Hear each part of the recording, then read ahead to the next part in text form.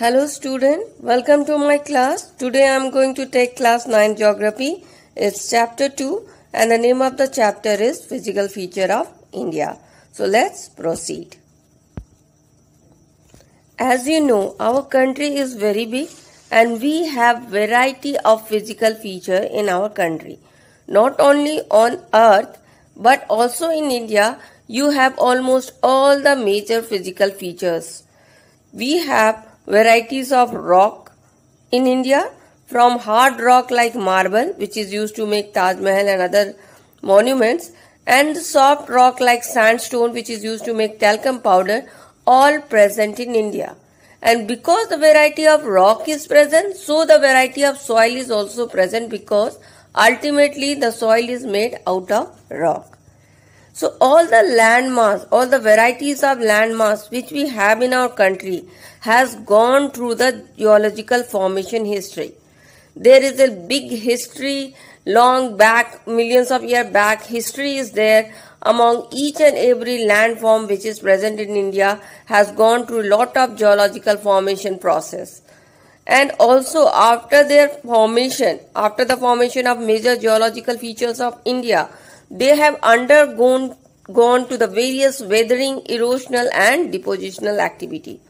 Weathering and erosional activities are those activities where the surface is slowly and slowly in millions of years is broken into small small particles and depositional activities are those activities in which these small small particles which are eroded is deposited to some places. Okay?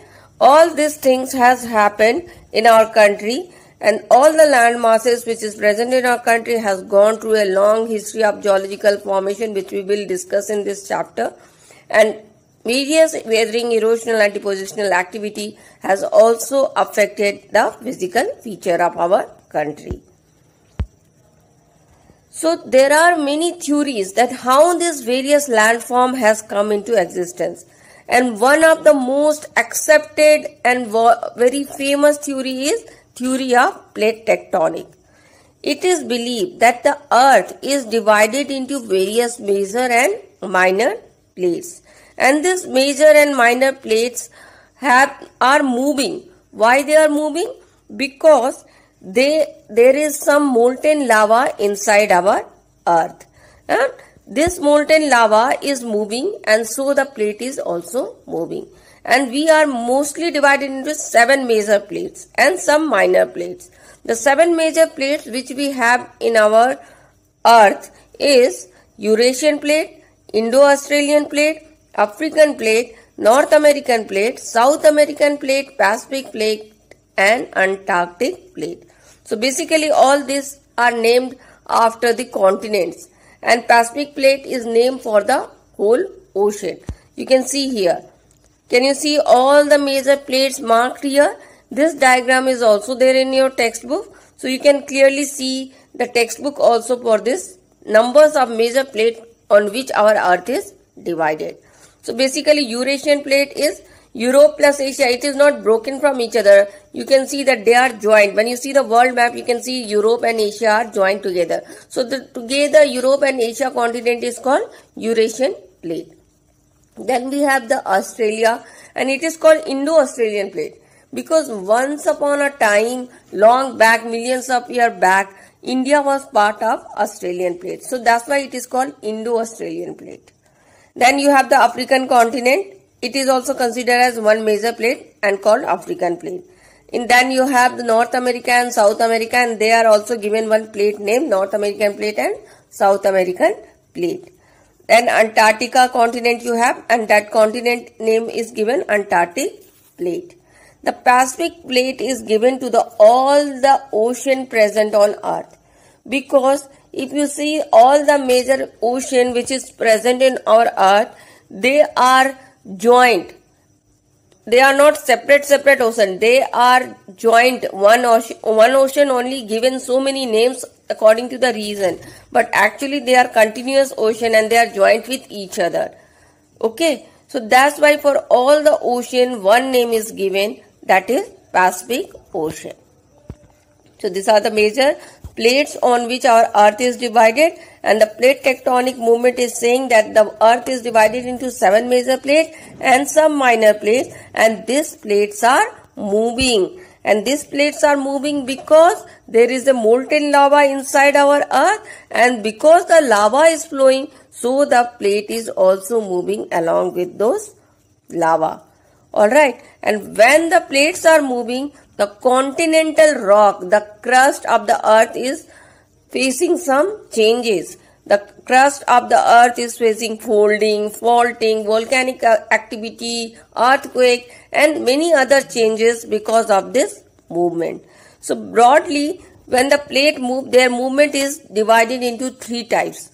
Where the plate is moving in a different different way and their movement is classified into three category. One is convergent boundary, another second one is the divergent boundary and third one is transform boundary. So let's discuss each one of them separately. The first one is convergent boundary. In this movement, the two plates comes close to each other. And when they come close to each other, they collide with each other. And when they get collided to each other, sometime one slide over the other and other gets submerged below the other plates. Okay converge boundary is the that movement in which the two different plates are coming together and they are colliding with each other. I will show you in the diagram and then this will be clear to you. But the divergent second one is divergent boundary in this what happened one plate is broken into two parts and they get separated from each other in convergent, two plates are coming close to each other. In divergent, they are, one plate is broken into two parts and they get separated from each other and move in the opposite direction. Whereas the transform boundary, neither they are converging to each other or not they are moving up, up against each other but just they passed each other and they just touch each other rubbed each other and then they move to their own direction this is called transform boundary and because of all these boundaries, the convergent boundary, divergent boundary and the transform boundary, we get many volcanic eruption, we get earthquake. Wherever the boundaries of the earth is weak, wherever these boundaries fall, those places are very, very prone to earthquake, very, very prone to volcanic eruption. Like, you know, the uh, uh, Himalayan region, is actually the reason of convergent boundary. And that's why you can notice that many places near Himalaya definitely faces earthquake very frequently. Right? So any places which is near to these types of boundary, they do faces earthquake and volcanic eruption frequently. So these boundaries I will explain you with the figure C. In the First, you can say the convergent boundary. Two plates are coming close to each other. This diagram is also given in your book. You can see this diagram in your book also. In the convergent boundary, what is happening? Two plates are coming close to each other. And when they come close, very close to each other, sometimes what happens? One slides over the other. One get over the other and other gets submerged over the first one gets submerged over the second one and second one goes above the first one. So sometimes converging can lead to that also and this can lead to the formation of mountains because one crust is going above the another crust can lead to the formation of mountain. Alright. So second is divergent boundary. What is happening? The plate is broken into two parts and they are mov moving in the opposite direction. Right. And in the transform boundary, what is happening? The two plates are neither converging nor diverging but just they are moving uh, in their own direction. And while moving in their own direction they are rubbing touching each other and then by they passed each other.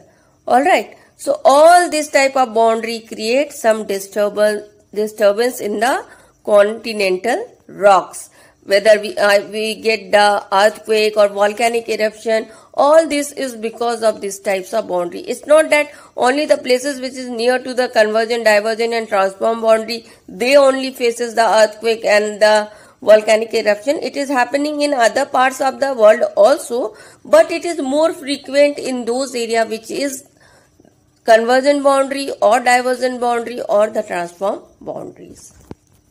All right so this type three types of movement is taking place places and these plates movements are creating various kinds of landform. So we are going uh, to study about India. So we are basically going to study how the various geological division of India is formed. So first we are going to see how the peninsular India is formed. The peninsular India is the down part of India. It is in irregular triangle shape. Can you see it is the down part of India. Alright. And this is the down part of India. This is also called peninsular plateau because it is a plateau. Little tableland. Little it is plain but it is high, uh, on a on some height it, the plane is on height when the plane is on some height it is called plateau so this triangular irregular triangular our peninsular india let's see how this triangular irregular peninsular plateau was formed so let's see its history and it's really interesting see it's formed long long back about 700 year ago. What happened? All the continents of the world was together. There were no, no separate separate continent earlier. All the continent of the world was together and into one landmass and that landmass was used to be called as supercontinent and that supercontinent name was Pangaea. It means that all the seven continents which you see together once upon a time was a single landmass, was a supercontinent called Pangaea. And the, all the ocean which you see today, you are ca calling it Pacific Ocean, Atlantic Ocean, or various other ocean, they all were also together and those all ocean was together called Panthalassa. Alright. So all the land together used to be called as Pangaea and all the ocean together used to be called as Panthalassa. Alright. Then as I told you there is a molten lava blowing below the plates. So when the molten lava be, flow, flow the below the uh, plates then what happens they create some pressure some tension on the continental rock and because of the pressure and tension of this molten lava which is flowing inside our earth, they, they're having uh, some folding, some faulting, some breaking. And because of this molten lava movement, actually the Pangaea, the supercontinent, broken into two parts. One is Laurasia or Angara land and another one is Gondwana land. Can you see our Pangaea? Once upon a time, the whole continent was together into one land called Pangaea. This is the shape of Pangaea. In this Pangaea, can you see all the continent together? You have Eurasia, you have North America, South America, Africa, Antarctica, even India is given in this. All the continent was together into one land and that is called Pangaea. And then the Pangaea broken into two parts. The northern part was called Laurasia or Angara land and the southern part was called Gondwana land. And then again it broke in and broke in and moved and with this movement the present landform was formed. The different different continent at different different places which you saw today is actually once upon a time was together into one single continent. Alright. So we were talking about how the peninsula plateau was formed. Okay. So once upon a time all the continent was together. Then it broken into two parts. One is Gondwana land and another one is Laurasia or Angara land. So Laurasia or Angara land when got broken, it contained North America and Eurasia. And rest other was the part of Gondwana land. Even our India was the part of Gondwana land. India, Australia, South Africa, South America and Antarctica all were the parts of Gondwana land. Then again this Gondwana land got broken and India and Australia was together. Then again this India and Australia got broken because of the divergent movement. As I told you about divergent movement, what happened in divergent movement? Two plates get broken into two parts and move away from each other. So India was once upon a time was a part of the peninsular India is once upon a time was part of Australia and it got broken from Indo-Australian plate and started moving towards northward towards the Eurasian plate. And then it came near the Eurasian plate and collided with the Eurasian plate. The convergent movement take, took place there. Convergent movement is what? When the two plates come close to each other and collide with each other and that time the Eura- uh, the Eura- with the Eurasian plate, the part of Indo-Australian plate, that is India, the peninsular India got collided and this way our peninsular plateau came into existence. Did you understand how the peninsular plateau is formed? If you did not understand, I recommend you to pause the video here, go back little back and again listen to the story and you will definitely understand it. Alright. So let's move forward. So this way our peninsular India was formed. Now let's see how after the collision how our Himalayas were formed. So we have seen how the peninsular India was formed. Now let's see how Himalayas were formed.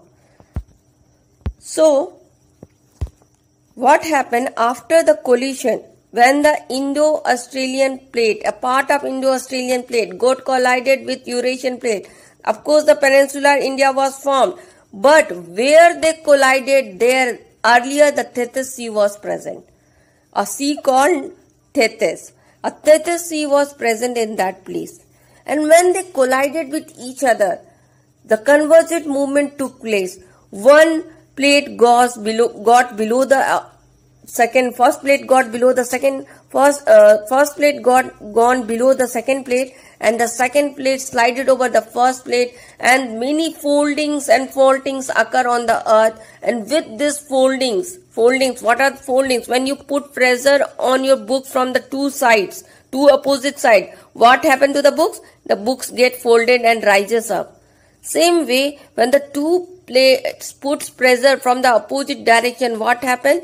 The crust get folded. And with this fold the mountains are created. So this way because of the collision of the peninsular block with the Eurasian plate the convergent movement took place. The folding occurred on the land. And because of this folding the Himalaya and the western Asia's mountain system were formed. And thus Himalaya got uplifted from the Tethys Sea and this way the Himalaya came into existence.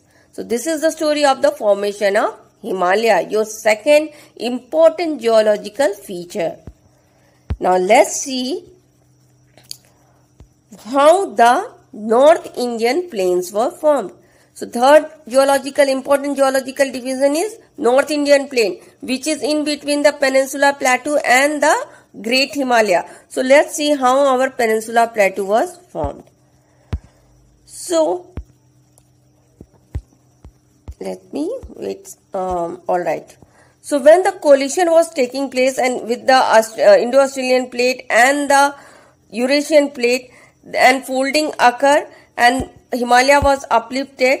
Then after the upliftment of the Himalaya, what happened?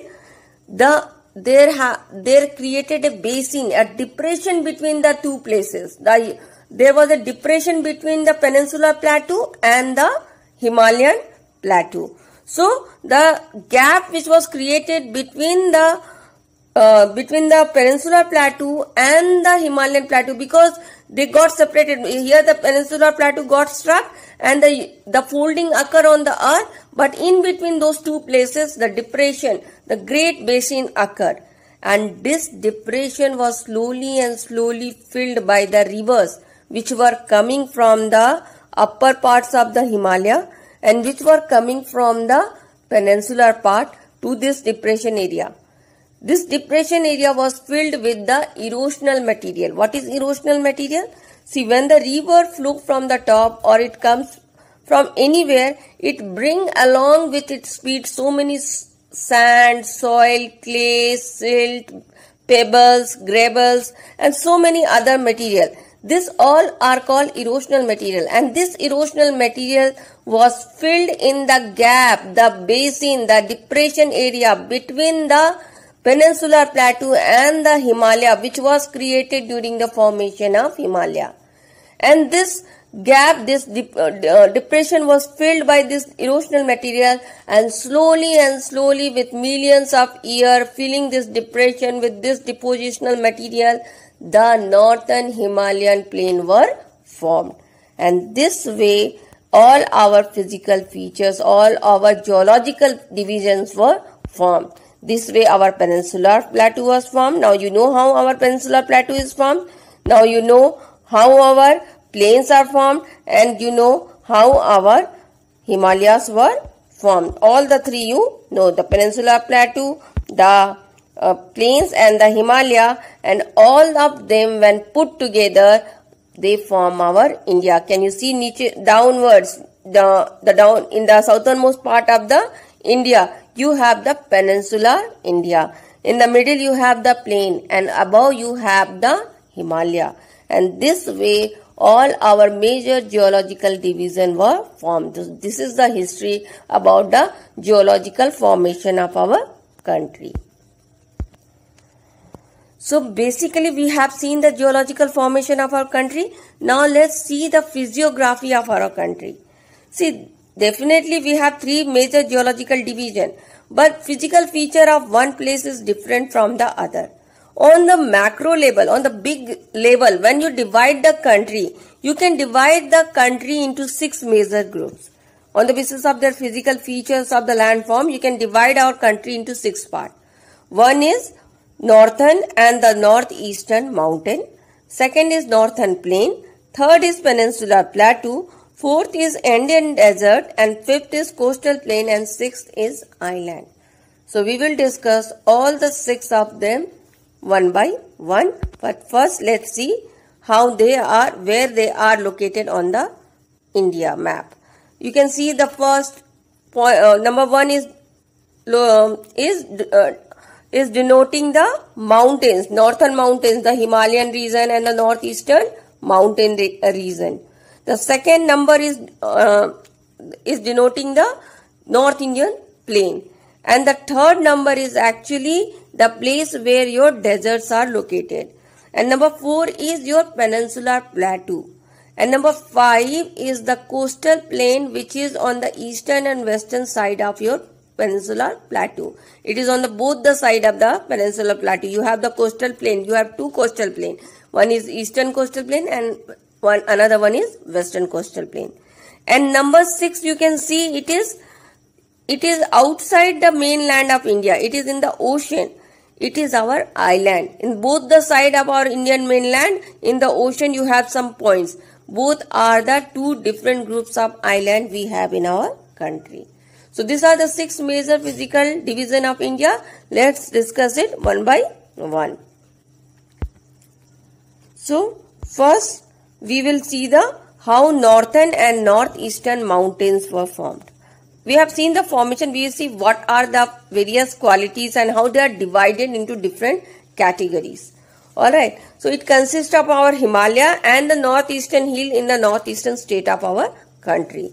So broadly if you will divide the himalaya on the longitudinal basis on the longitudinal basis when you divide the himalaya longitudinal basis means not the longitude you studied in the last chapter it the longitude here longitude means long big.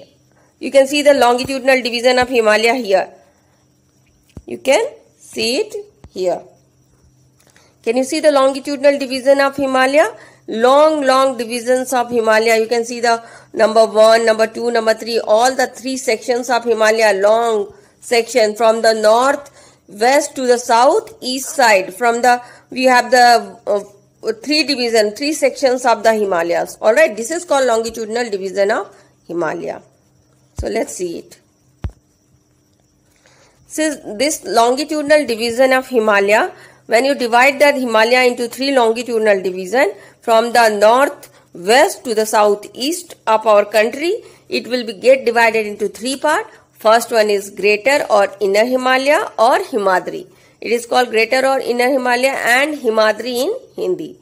Then second one is middle Himalaya or lesser Himalaya and in Hindi it is called Himachal. And the third one is outer Himalaya and in Hindi it is called Sivalik. It is outermost part of the Himalaya. So these are the three broad division of Himalaya or three longitudinal division of Himalaya. So first we will study about Himadri or the Greater Himalaya. So it is the it is having more height than compared to the other sections of the Himalaya and it has the continuous ranges.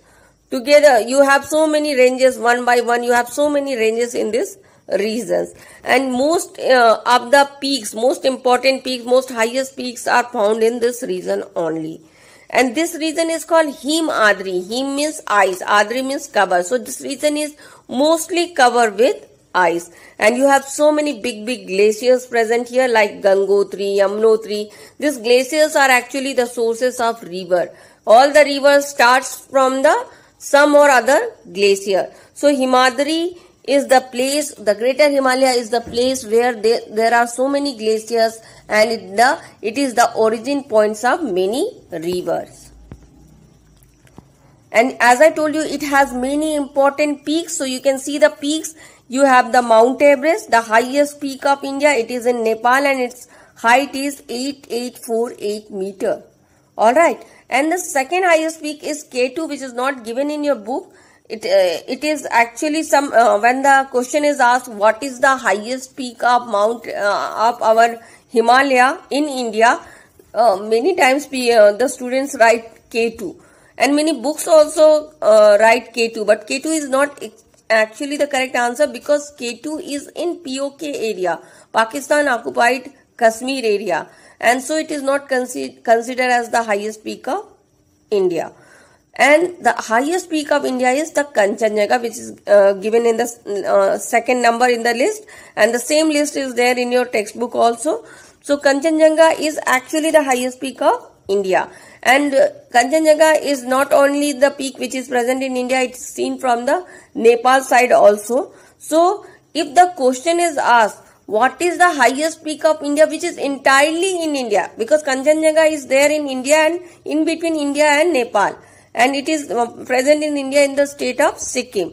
So actually Kanchenjunga is highest peak of India but if the question is asked what which peak uh, which is the highest peak of India which is entirely in India then the answer will be Nanda Devi. Alright. So Nanda Devi will be the answer if it is asked which highest peak is entirely in India but if it is asked which is the highest peak of India it is Kanchenjunga and not K2. K2 is in Pakistan. It is in the POK area, Pakistan occupied Kashmir area. Alright. So, we have seen about the Himadri and now we will see about the Himachal or the Lesser Himalaya. Himachal or the Lesser Himalaya is the second series, second parallel series of your uh, Himalayas division and it is called, uh, it has many ranges like Pir Panjal ranges, Mahabharat ranges and many other ranges. It has many valley also like Kangra Valley, Kulu Valley and many hill station are also present in this region like Mussoorie, Nainital and Ranikhet. All these three important hill station are present in Uttarakhand region, in Uttarakhand state of our country. Now let's see the third, third division of our Himalaya and that is Sivalik Himalaya. This is the outermost layer of our Himalaya. And this is the outermost region of our Himalaya and this region is actually covered with thick gravel and alluvium. Thick gravel and alluvium means thick gravel is big big stones. Alright. See, because I told you many rivers comes from the top to the down and when they come from the top, they bring so many things like they bring gravels, pebbles, alluvial soils and many other things along with them. And when they bring it from the top to the down and Sivalik Himalayas is uh, having very less heights. Okay. So this on these places they deposit so many gravels and alluvial deposits. So this area is uh, having lot of gravel and alluvial deposit brought by the river. And it is also famous for longitudinal valley. Longitudinal longitudinal means long long valleys. Long long valleys like Dehradoons which is the largest dune present here and Kotli dune and many other dunes. Longitudinal valley long valleys are also called dunes. So we have many dunes present in this place Dehradun and Kotli dune is some of its example. So, we have seen the broad division of Himalaya into three parts into Himadri, Himachal and Sivalik or Greater Himalaya, Middle Himalaya or Outer Himalaya. Now the Himalaya not only classified on that basis, Himalaya can be classified in some other basis also and that is called our regional division of Himalaya because you saw that Himalaya is continuing from the northwest and going till southeast of our country. So it's uh, actually covering the large region of our country. So on the basis of region you have to divide the Himalaya into various part. and so when you divide the Himalaya on the basis of region because it's covering so many states.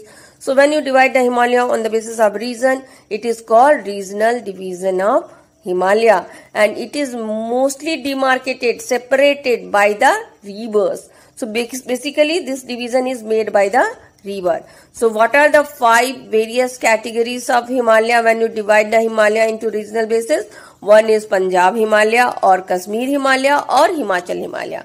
They are called by different different names. Second is Kumayu Himalaya. Third is Nepal Himalaya. Fourth is Assam Himalaya. And fifth is Purvanchal Himalaya. So let's see it one by one. So Punjab Himalaya is the Himalaya. As I told you, this division is demarcated by the rivers. So basically, all this Himalaya are between the two rivers. So Punjab Himalaya is between the Indus and Satluj river. And regionally it is called Kashmir and Himachal Himalaya in the west and east respectively. It means in the western side it is called Kashmir and in the eastern side it is called Himachal Himalaya. In the western side Kashmir Himalaya and eastern side Himachal, Himalaya. So basically it is Punjab Himalaya it is between which two river Indus and Satluj then you have the Kumaon Himalaya this Kumaon Himalaya fall between the river Satluj and Kali so Indus and Satluj Punjab Satluj and Kali Kumaon and then Kali to Teesta you have Nepal Himalaya between the Kali and Teesta so basically you have to remember the name of the river in a series Indus, Satluj, Kali, Tista and Dihang. If you remember all this river, in between these two, two uh, river you have some sections of Himalaya. So first is Punjab Himalaya between Satluj and Indus Indus and Satluj and then Kumayu Himalaya between Satluj and Kali, Nepal Himalaya between Kali and Tista and then you have the Assam Himalaya which is between Tista and Dihang river. Dihang is the name for the Brahmaputra river which is later on called Brahmaputra. So you have the Assam Himalaya between the Tista and Dihang river and then you have the Purvanchal and north, northeastern hill which which start after the young gorge Dihang's, um, beyond the uh, Dihang rivers, it starts. And here what happened, the Himalaya turned little southwards, down. It turned little downwards and covered our northeastern states. And it is also called northeastern hills. It's called by many names. It's called uh, called by um, various names. It's called Purvanchal. It calls northeastern hills. And uh, they they are also compromise uh, compromise uh, consist of so many like uh, hills like Naga hills, Manipuri hills, and Mizo hills. So many hills are also part of it in the eastern Purvanchal Himalaya. So basically for this div uh, division you have to remember the name of the rivers in series. If you remember the name of the rivers in series then you can demarcate the different regions of Himalaya. So you can see the Himalayas. These are the different uh, regions of Himalaya. So, in the first division, we divided the Hima Himalaya longitudinally in the long, long form. But in the second division of Himalaya, how we are dividing it? We are dividing it in a small, small section. Between uh, first is between Indus and Satluj, you have Punjab Himalaya. Then from Satluj to Kali, you you have Kumay, uh, Kumayu Himalaya. Then Kali to Tista, you have Nepal Himalaya. Then Tista to Dihang, you have Assam Himalaya. And then from Assam, it take southward turn. And we get our Purvanchal Himalayas. See, it is bent southward. From here, the Himalaya turns southward. Downwards is turning down. That is south. And that is called Northeastern Himalaya or Purvanchal Himalaya. So this is the division of Himalaya. Now let's re, uh, study something about the northern plain. And this plain is also called IGB plain or Indus Ganga Brahmaputra plain because it is, as I told you during the how the formation of northern plain took place. It is formed because of the erosional material brought by the river and mostly the Indus river, Ganga river and the Brahmaputra river along with its tributary and many other peninsular river also the northern plain is formed but the main role for its formation was because of Indus, Ganga and Brahmaputra river. And because of this three river it is formed, so it is also called Indus, Ganga and Brahmaputra plains. And it is very fertile plain and it has adequate water supply in its area. It is good for agriculture because its climate there support the agriculture system and because it has fertile land, good water facility, good climate, so definitely it will be a densely populated region. Densely populated means many people, population is more in this region. Alright. So this is northern plain. So when the depositional material uh, are brought, so much of depositional uh, material are brought by this river and because this have the gentle slope, gentle slope means it's uh, in almost plain. So when the so much of depositional materials are brought by the river, sometime this depositional material leads to the formation of riverine islands. What is riverine island? You know the islands which are between the oceans. Riverine islands is a place of land in between the river. So, because of this depositional material, so much of depositional material, sometimes they deposit it in between the river only and then it leads to the formation of riverine islands. Like uh, one example is Majuli Island. Majuli is in in the in between the Brahmaputra river and it is largest island of the world. Majuli Island in the Brahmaputra river uh, is the largest island in the world. And then in the lower coast, sometime what happened in the lower coast of the river, so river have so many coasts, upper coast, middle coast and lower coast. In the lower coast, of, uh, uh, this depositional material because of the depositional material sometime what happened it split the river into two parts because the deposition material come in between the river's way and then the river get divided into two parts and when the river get divided into two parts it is called distributaries of river so when some river join the river it's called tributaries of river but when the some um, when this one river is divided into two parts, it is called a distributaries of river because here the river get distributed into two directions. So it's called distributary of river. You can better understand the uh, river uh, uh, tributaries and distributary with this diagram. See on the tops there are tributaries of rivers. They are joining the main rivers. So when the uh, small small rivers join the main rivers, it is called its tributary. But on the downmost side, you can see the distributary of river where the river getting divided into many parts. It's because of the depositional material which come in between them and because of that uh, depositional material they are forced to divide into two or three parts and then it is called distributary of rivers. Alright. So, till now uh, we have seen some points about the northern plain. Now now we have to see the divisions of northern plain. Like you have divided the himalaya into different parts so same way you have to divide the northern plain into different parts as well. So first when you divide the himalaya on the broad basis or on the basis of horizontal division horizontal division is a division when one portion is on the side of the other portion. So when you horizontally divide the Himalaya or broadly divide the, sorry, horizontally divide the northern plain or broadly divide the northern plain, then it get divided into three part and first part is Punjab plain. It is the westernmost part of the northern plain. Okay, it is on the western side of our northern plain and it is mostly formed, Punjab plain is mostly formed by the deposition brought by the river Indus. Indus river because Punjab near Punjab which uh, river flow Indus river flow. And Punjab is called Punjab five river place of a Punjab. Panj means five and Ab means water. So it is Punjab is formed out of five rivers so Punjab plain is basically formed by the Indus river and formed by the tributaries of Indus River. It is formed by the erosional material, depositional material brought by the, this plain is formed by the erosional and depositional material brought by the river Indus or its tributaries. Very, there are very uh, many tributaries of Indus like Jhelum, Chenab, Ravi, Beas and Satluj. These are the five major rivers which are the tributaries of Indus. And you know the Punjab Himalaya is mostly in India but some part of Punjab Himalaya is also there in Pakistan because the Indus not only flow in India, it also goes to Pakistan after covering India.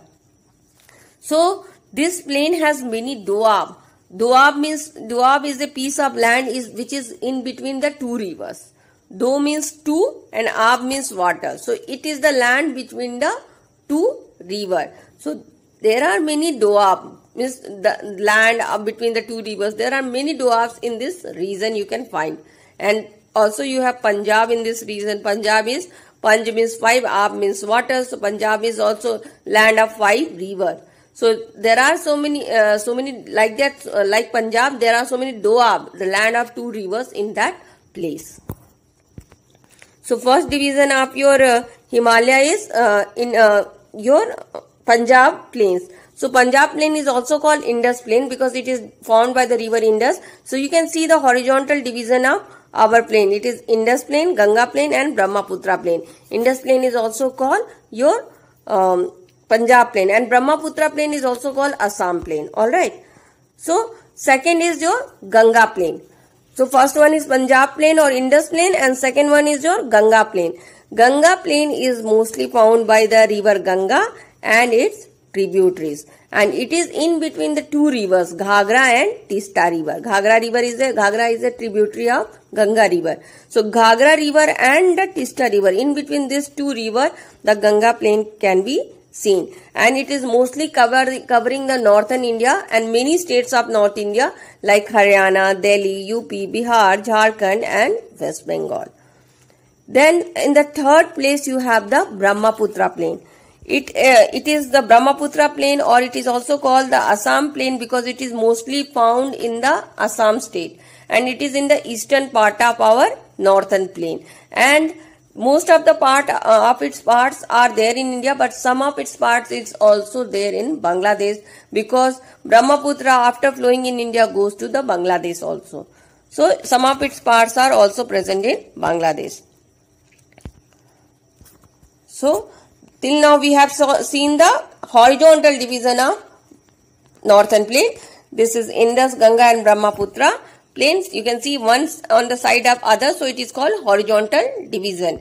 Now we will see the vertical division of our plains. So vertical is the horizontal division when one is on the side of the other. Vertical is when one plane is below the another plane then it is called vertical division. You can see in this figure one part of the plain is below the another part of the plain. So when you have the Indus plain, Ganga plain and Brahmaputra plain, this plain can be vertically also divided.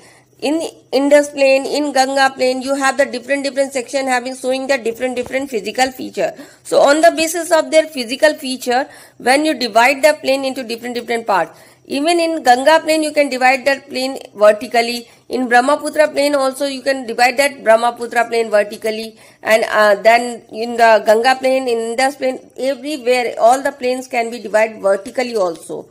And when you divide the vertically, um, the, the plains, you divide it on the basis of physical feature of that place. And they are divided into four sections, that is Bhabar, Tarai, Bhangar and Khadar. What are these four reasons? We will discuss one by one.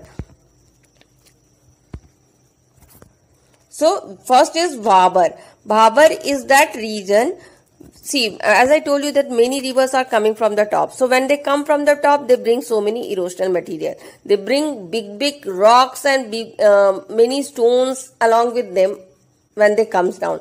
So, when they come with the speed, they are bringing so many big, big rocks and uh, comes with force and put those rocks below um, below the mountains near the Sivalik ranges, right? Sivalik is the outermost layer of the Himalaya. And when they put these big rocks near the Sivalik range in the and they, these rocks form a narrow belt which is parallel to the Himalaya. The belt of big big rock near the Sivalik range. And this belt of big rocks near the Sivalik ranges is called Bhabar. In the Bhabar, it is believed that the river goes underground, they disappear. Yeah, because they are not able to, we are not able to see the rivers in that area. Why we are not able to see the river in that area? In the Bhabar area, we are not able to see because the rock size is so big that rivers is not um, not visible to our eyes because they are now going, uh, they are flowing below the this big big rocks. So sometimes we feel that the river has gone underground or river has disemerged. Okay, but actually the river has not disappeared. It is flowing below the big pebbles. So as you can see, the Bhabar region is marked with the sign like uh, a rock. And so when after the Himalaya, the river is flowing after the Himalaya, which region start? Bhabar region. It is the region where the big, big rocks are deposited, which is brought by the river. Because the uh, size of the rock is so heavy that river cannot carry it for more long distance. So they deposit it in there only, near the Sivalik ranges. And then this area is formed. The Bhabar region is formed.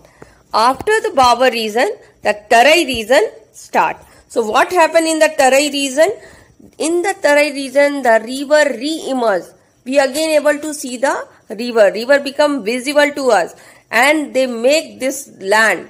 The land uh, near the Tarai region is quite wet land, quite swampy and marshy region it is.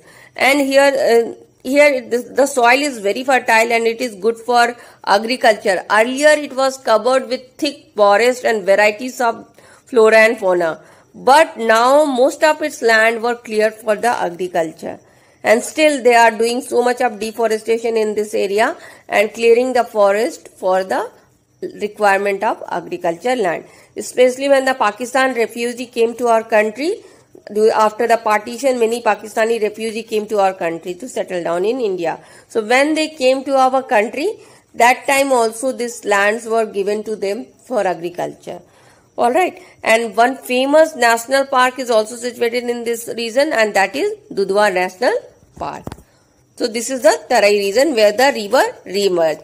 In Bhabar region, it, it is a full of big big stone where the re river disappear. In the Tarai region, it is wet and swampy land where the river re-emerged and it is very fertile and good for agriculture, forest and wildlife. Then after Bhabar and Tarai region, you get another reason called Bhangar and Khaddar region. So this Bhangar reason, this reason is actually the Bhangar and Khaddar, both the reason is the plain area of alluvial deposit, flood plains. They are flood plains. What is flood plains? The plain which is formed by the erosional deposit or the soil brought by the flood is called floodplain. So Bhangar and Khaddar both are actually floodplain. So what is the difference between Bhangar and Khaddar? Bhangar is a flat plain of old old alluvial deposit means it is formed long quite uh, uh, long uh, long back means uh, it is older than Khaddar and Khaddar is a flat plain which is of uh, young formation which is formed recently. So Khaddar is a young floodplain and Bhangar is a old floodplain. So because the Bhangar is an old floodplain, so it has lost some of its fertility and it is less fertile compared to Khaddar, which is a young floodplain. Because it is a young floodplain, so it has more quality and more fertility. And because Bhangar is an old floodplain, so many layers of soils were deposited one above the other in that area. So the height of Bhangar is quite more and the Khaddar height is not that that much as compared to Bhangar. So height of Bhangar is more and height of Khaddar is less. Because old alluvial deposit means so many layers of soil were deposited one by one and so it is height has increased. But Khaddar height is, height is little less than Bhangar height because it is just young one formed. So basically both are floodplain which is formed by the uh, erosional material brought by the floods but one is Bhangar is old one and Khaddar is new one. Bhangar have more height, Khaddar has less height. Bhangar is less fertile and Khaddar is more fertile. So this is the four vertical division of our northern plain. So you have seen the horizontal division and also the vertical division of your northern plain. With this we complete our northern plain. Now we will discuss our peninsular plateau. So till now we have co uh, covered the two physical features of our country, the Himalaya and the northern plain. Now we will cover our peninsular plateau. So it is the oldest landform. You know the peninsular plateau is the first one to get formed in India. After its formation, the Himalaya formation started, right? And actually the peninsular plateau was formed long back. It, it joined India in between its journey only when it was coming from uh, Australia towards the Eurasian plate, that time only it got formed and it is the oldest landform of our country. It is mostly formed out of the crystalline igneous and metamorphic rock. So these are the rock which has formed the peninsular plateau. It has many hills, uh, many valleys and hills. These valleys are actually shallow, not very deep and broad one. Broad valleys, shallow valleys and many hill stations can also be seen in Peninsular Plateau like Ooty. Alright. So the Peninsular Plateau can also be divided into many parts like you, you divided the Himalaya, you divided the Himalaya and you divided the northern plain. Same way you can divide the peninsula Plateau also. It can be divided into three parts that is Deccan Plateau, Central Highland and Meghalaya Plateau. Meghalaya Plateau is known by many names. It is called Purvanchal, it is called Northeastern Hill, it is called Karbi and, um, Anglong, and it is also called North, North Hill. So many names are given to our Meghalaya Plateau. It is also called Shillong Plateau. Alright. So uh, this is the three divisions of Peninsular Plateau and Peninsular Plateau is divided in one way only. Like uh, Himalaya and the Northern Plain got divided into two way. But we are dividing the peninsular plateau in one way only and that is into three parts Deccan Plateau, Central Highland and the Meghalaya Plateau. So let's discuss this one by one. So first we will discuss the Deccan Plateau. Alright. So this is the southernmost part of India, Deccan Plateau. The peninsular plateau get divided into two parts. One, the below, the down part is called Deccan Plateau. The above part is called Central Highland. So the Deccan Plateau is in the downmost part of our peninsular plateau and it is in the south of river Narmada. Above the river Narmada you have Central Highland, below the river Narmada you have the Deccan Plateau. So how the Deccan Plateau is, uh, you can describe, you can describe the Deccan Plateau by describing its fourth side. If you will see the Deccan Plateau, you will see that Satpura ranges is in its northern side you can see Eastern Ghat in its eastern side, Western Ghat in its western side and Nilgiri Hill in its southern side. And there are many highest high peak, uh, not like uh, as high like mountains uh, of Himalaya, but there are some peaks in our Deccan Plateau also. Like in the Western Ghat, you have Anaimalai Hills. In Eastern Ghat, you have Mahendragiri. And in Nilgiri Hills, you have Doddabetta. All these are the highest peak of this region. Western Ghat highest peak is Anaimalai Hill. Eastern Ghat highest peak is Mahendragiri. And Nilgiri Hills highest peak is Doda Beta. So this way you can divide the Deccan Plateau. If it is difficult for you to remember the all the sites of Deccan Plateau, I recommend you to look at the map. When you look at the map, no, you can remember the sites very easily and the second and third chapters maps are very important. Throughout the year you are going to get the uh, map work from these two lesson only. Because these two lessons are very important from the point of view of mapping. So you you can if, if you remember the map no you can automatically write the things uh, of which side uh, what uh, what is the sides of Deccan plateaus what is the sides of central highland and other sites also. Other places it is easy to understand when you look at the map. So when you looking the look uh, look into this map, you can understand Deccan Plateau. You can see the Deccan Plateau written in the downside of our India, and above the Deccan Plateau, you can see the Satpura range is there. And eastern side you have Eastern Ghat, western side you have Western Ghat, and in the southernmost you can see the Nilgiri hill is written. Alright, so when you remember this picture, no, automatically you can write the answers how to describe Deccan Plateau, then you can describe the Deccan Plateau is the down part of the peninsular plateau which is having on the north the Satpura ranges, in the east Eastern Ghat, in the west Western Ghat and in the down Nilgiri Hills. So this is the easy way to remember the sites of Deccan Plateau. You have to see the picture and you have to buy heart the map. So as I told that uh, Deccan Plateau has two, uh, two ghats, Eastern Ghats and Western Ghats. Ghats, uh, so let's uh, see what is the difference between the uh, two ghats. Alright, so Eastern Ghat is in the eastern side of the Deccan Plateau, Western Ghat is in the western side of the Deccan Plateau. The Eastern Ghat is a discontinuous ranges and Western Ghat is the continuous ranges. What is what does it mean? See, ghats are the series of mountains. All, all right, but they are not as high mountains like the Himalayas, the small, small mountains. Compared to Himalaya, it is very small. So, ghats are the series of mountains. The mountains in the eastern side is discontinuous and mountain in the western side is continuous. When you will write, you will get confused. So, what you have to do, you have to look into the map again. See, can you see the eastern ghat and western side? Ghat the eastern ghats are shown with the broken lines, but the western ghats are shown with the continuous line. So I am telling you, remember the map. If you will remember the map, many things it's easy to remember. See, Eastern Ghat is on the eastern side and it is broken. So that's why it is called discontinuous.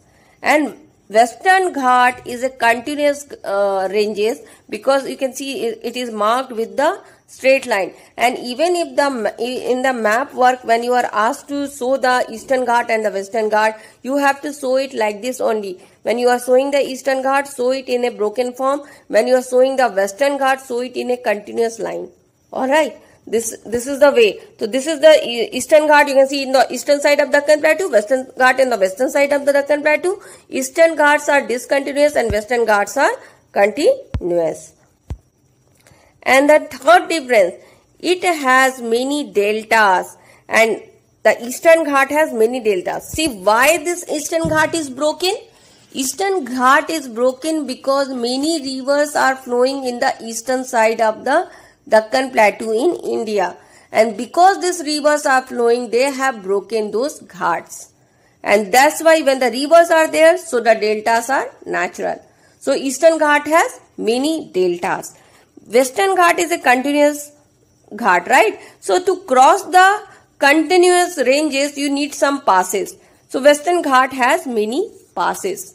Passes is the place from where you can pass the from one side to the another side of the mountains. Alright. So Western Ghat has many passes.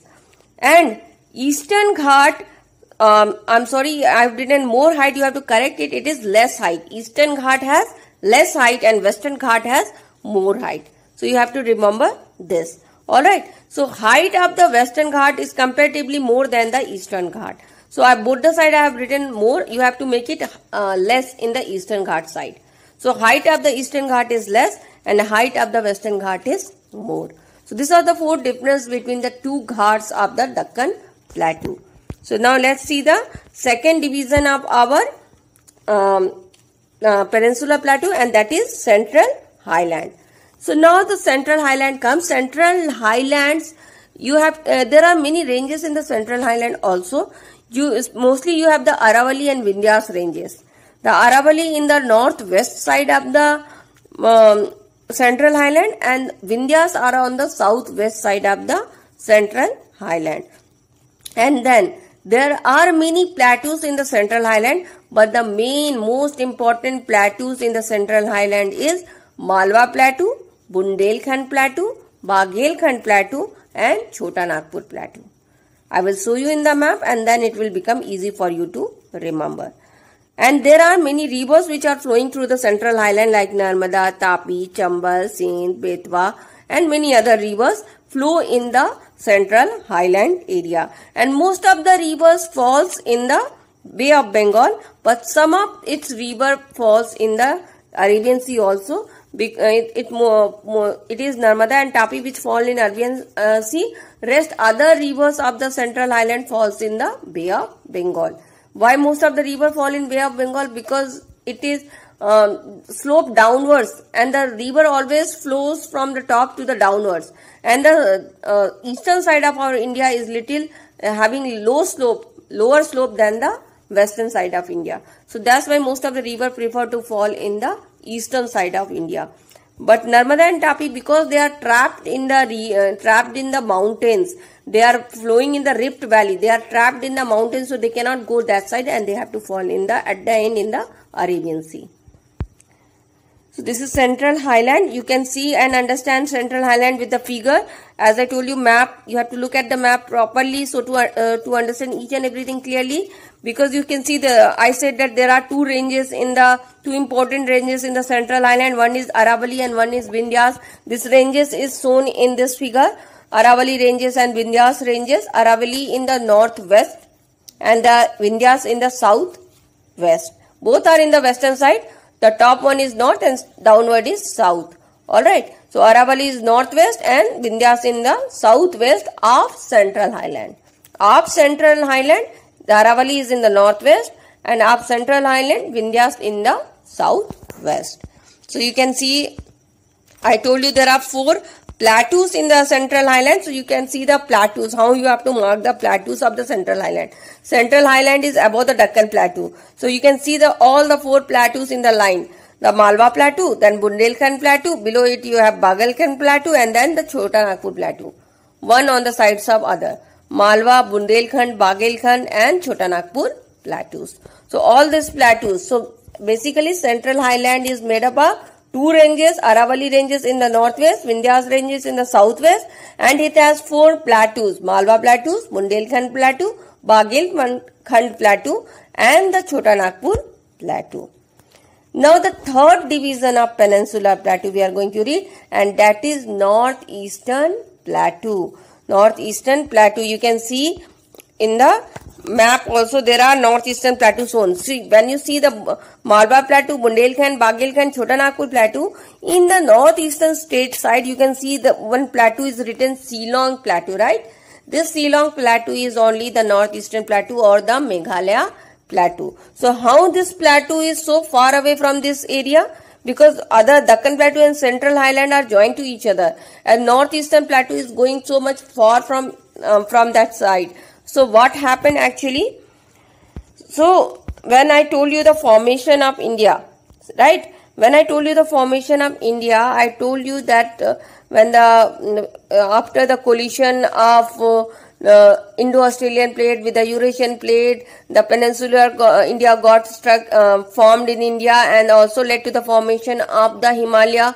So when all these things were taking place, when the formation of mountains was taking place, when the formation of Himalaya was taking place, a part of peninsula part, uh, plateau broken away. And it moved because of the divergent movement the part of peninsula plateau got broken away and it moved toward the northeastern sides of our country and settled in the northeastern state of India. It broken from the Rajmahal hill and went to the northeastern uh, state and then it led to the formation of Meghalaya plateau. And the, so the Meghalaya plateau which is present in Meghalaya is actually the part of the peninsular India. So this uh, this uh, the gap which was created see when the part is broken away and move away to the northeastern side the gap was created between the Meghalaya plateau and the peninsular plateau. But this gap was also filled by the rivers which was which were blowing from the north and from the south to those area. Those rivers fulfilled this gap in millions of years and that that gap between the peninsular and the Meghalaya plateau is turned into plains. This Meghalaya plateau have many hills along with it. That is Khasi Hill, Garo Hill, Jaintia Hills. So these are some of the hills which you, you can find in the Meghalaya plateau. And all this hill name is given from uh, on the basis of the tribal groups staying in that area. And all the plateaus, whether it is the uh, Deccan Plateau, Central Highland or the Meghalaya Plateau, all the parts of the Peninsula Plateau are rich in minerals because this plateau is actually formed out of the volcanic eruptions. Alright, long back so much of volcanic eruption took place in the peninsular India. Much long before it came to India. So that time because the plateau is formed by the volcanic eruption material that's why this material uh, the uh, material which comes from inside the earth. In the volcanic eruption what happened? Material come from the inside the earth to the outside earth right? So when the material come from inside the earth it is rich in minerals. And that's why all the regions of peninsular plateaus are rich in minerals so you can see the meghalaya plateau in this uh, place which is separated from the Peninsula Plateau and went to the northeastern state. And as I told you, the Peninsula Plateau has many hills like uh, you have you can see here the uh, Naga Hills, Mizo Hills and other hills, Patkai Bumps and other hills are there in the Meghalaya Plateau. It's also called Purvanchal Plateau. Alright, so till now we have covered the Himalaya, we have covered the the northern plain and we have also covered the plateau. Now let's move to our fourth physical feature that is Indian desert. It is um, and short also we can cover it. It's not that big. Big. It it is uh, after the northwestern uh, northwest side of the Aravalli. You you have seen the how the peninsular plateau is starting. It is from the Aravalli hills uh, to the Vindhyachal ranges. It is getting start. But above the Aravalli hills in the northwestern side of India near Gujarat and Rajasthan, you have a Thar desert or the Indian desert. Alright. So this is our desert. We have so many things in our country. We have plateau, plain, mountain and also the desert and coastal plains and island. All the major physical features of the world is present in India. So a portion, a region of India also have the desert and this desert is actually divided into two parts. Most of this Thar desert fall in India only, but some of the parts of the Thar desert also fall in Pakistan. That uh, desert is divided into two parts. The slow one is sloping toward the north and one is sloping toward the south. The one which is sloping toward the north is touching the Sindh of Pakistan and one is sloping towards the south is touching Gujarat, Rann of Kutch. Rann of Kutch in Gujarat. So it is actually extending from part of Gujarat to the part of Pakistan and mostly full Rajasthan, uh, most of the parts of Rajasthan is covered in Thar deserts. And the climate of this place, the desert is arid as as usual you know the climates of the desert are mostly arid in nature and uh, the rainfall quantity is very low. Vegetation is very less in this area. And most of the uh, rivers are seasonal. Like uh, actually the number of reason uh, rivers are very less but not river actually streams flow in this region. And especially this stream flow during the rainy season. And as soon as the rainy season is over the stream also disappear. And lost in the sand one major river flow in this region and that is luni river all right and it is also famous for sand dunes and especially the crescent shaped sand dunes. Sand dunes are formed in different different shapes but the crescent shaped sand dunes are called Barchan is extremely famous in this area. Especially in the Jaisalmer and Pakistan side you, you can see the crescent shaped sand dunes. What is sand dunes? Actually sand dunes are small um, form uh, landforms, small uh, landform which is formed out of the sand. When the wind blow in this region, what they do they blow the soil they blow the sand in present in that region and they deposit that sand in a, uh, in a such a way that it take the shape of a crescent. Crescent is a half moon. So when i will show you the picture you will get more clear idea so first you see the where the your uh, Thar desert is present, your Indian desert is present. It is above the Aravalli hill. You can see the northwest side Aravalli hill is there and above that you have the Thar desert near Rajasthan and Gujarat. And you can see the sand dunes here, right? Sand dunes are the uh, small landform which is formed out of sand and it is formed because the wind blow this sand and deposit it in a shape of a crescent, half moon shape. So this is the crescent shape uh, sand dunes which is very famous pa part of this desert especially in Jaisalmer and parts of Pakistan. These sand dunes are very common. Alright. So we have uh, covered the uh, desert area. Now we will see the coastal plain, the fifth physical feature of India. So we are basically we are having two uh, coastal plain and we are going to study this coastal plain in comparison form. Alright. So we have western coastal plain and we have the eastern coastal plain. Both the coastal plain are on the side western and eastern side of the peninsular plateau. So western coastal plain is actually the sandwich between the western Ghat and Arabian Sea. And eastern coastal plain is the sandwich between the eastern Ghat and the Bay of Bengal. So what is this mean? As you must have heard about sandwich. What is sandwich? In between the two breads you put the stuffing, right? So this way our coastal plain is also. You can understand by the figure in a better way. Can you see this figure and can you uh, make out where the eastern coastal plain and the western coastal plain? Eastern coastal plain on the eastern side and western coastal plain on the western side. It is between which? We have the Ghat in the eastern side, we have the Ghat in the western side of India, right? And we have the ocean also in the both the side of India. We have the Bay of Bengal in the eastern side, we have the Arabian Sea in the western side of our India. So in between the eastern Ghat and the Bay of Bengal, there is a coastal plain which is a sandwich between the eastern Ghat and which is a sandwich between eastern Ghat and Bay of Bengal. And western coastal plain is a sandwich between the western Ghat and the Arabian Sea. So this this is the me meaning of this statement. Alright. So the western coastal plain is the sandwich between the western Ghat and the Arabian Sea and eastern coastal plain is the sandwich between the eastern Ghat and the Bay of Bengal. Western coastal plain is the submerged coast. Submerged coast means it is not on a more height. It is a little uh, not uh, it is in a less height than water, less height with waters.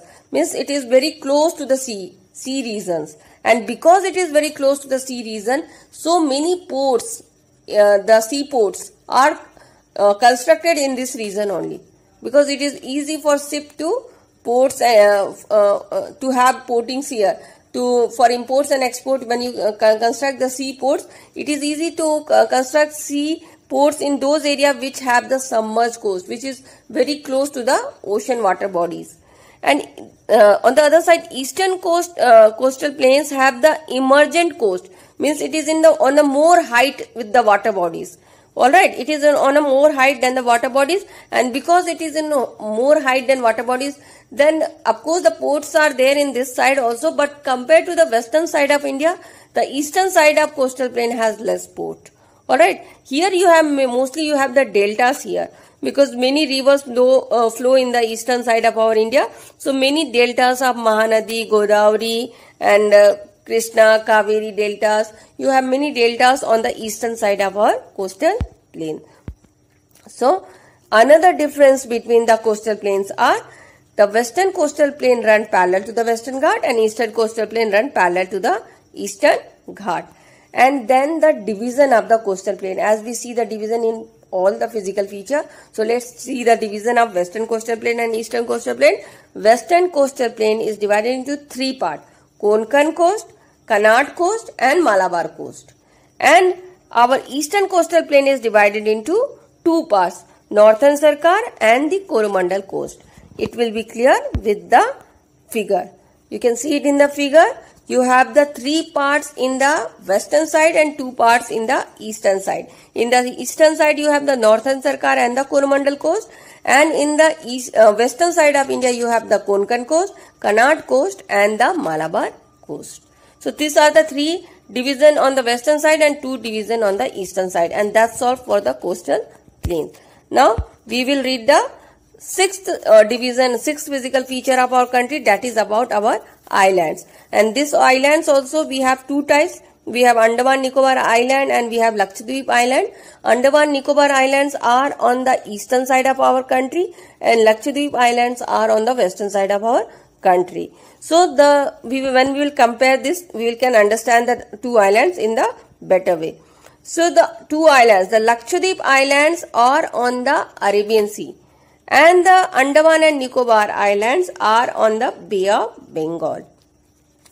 They, these islands are uh, made up of so many small small groups of islands. This, uh, this, is not a one island; it is a group of many islands. So the in the Lakshadweep Island we have total 36 uh, uh, small small island, and in the Andaman and Nicobar we have total 572 small small islands. And in islands, these are these two islands are the union territory. They are not the states of our country. They are the union territories of our country. And in the state we used to have capital, but in union territory we used to have headquarters. So in the the Lakshadweep has its headquarters at Kavaratti, and this uh, Arabia, Andaman and Nicobar Islands have the headquarters at Port Blair. And the Lakshadweep Islands have a famous island called Pitti Island, which is fam famous for its bird sanctuary.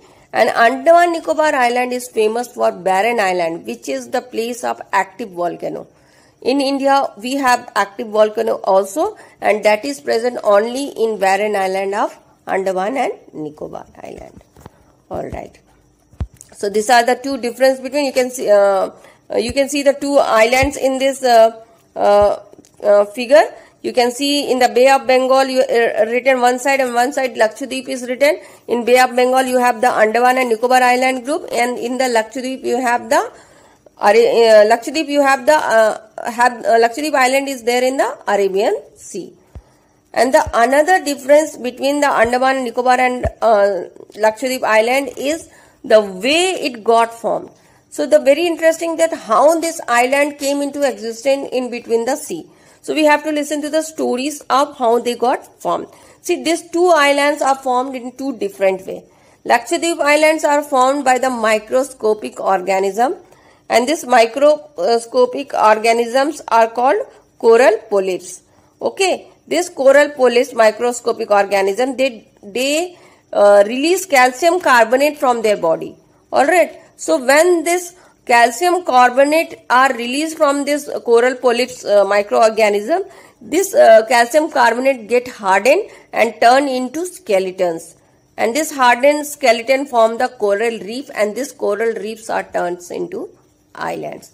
So basically Lakshadweep types of islands are formed because of the microscopic organism called coral polyps which which uh, release calcium carbonate from their body and this calcium carbonates are turned into hardened skeleton coral reef and this coral reef together make an island. How these Andaman and Nicobar types of islands are formed? These islands are formed because for this you have to understand one thing that like you on the earth you have mountain, you have plateau, you have plains. Same way inside the ocean also you have mountains, plateau and plain. So some mountain inside the ocean is so big that their peak come on the surface of the ocean. And that peak when seen on the surface of the ocean, it look like a land on the surface of ocean. And many people think that it is a land and they go and settle there and they, this way the islands are formed. So either they are formed because they are the peak, uh, peak of some mountain or sometimes they are formed because of the volcanic eruption also. Because inside the mount, uh, inside the ocean, so many volcanic eruptions, so many earthquakes take place.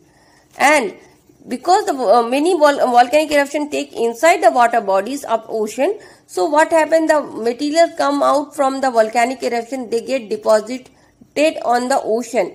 And after so many of uh, eruption, what what happened? The deposit depositional material get deposit one layer above the another layer and another layer again over the another layer. And this way, the layer and layer of deposition get so much height that it it can be seen from the top of the ocean, and it becomes a land on the surface of the ocean.